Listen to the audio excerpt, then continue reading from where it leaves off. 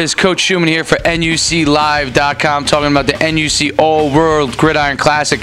Make sure you check out NationalUnderclassmen.com for more of these videos and updates. Our next invitee in acceptance is Ralph Abernathy the fourth. Congratulations, he's one of the top running backs, scat backs in the country.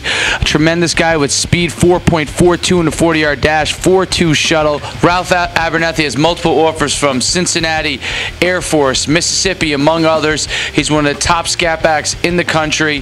He dominated at our NUC Atlanta event where he was our fastest man, but he was also excellent out of backfield catching the ball, had great change of direction. Then he came to the Ultimate 100 camp, fresh out of a camp from Cincinnati. He came there, dominated in the 7 on 7 competition, excelled there. He was one of our top athletes that was invited back to our top prospect camp.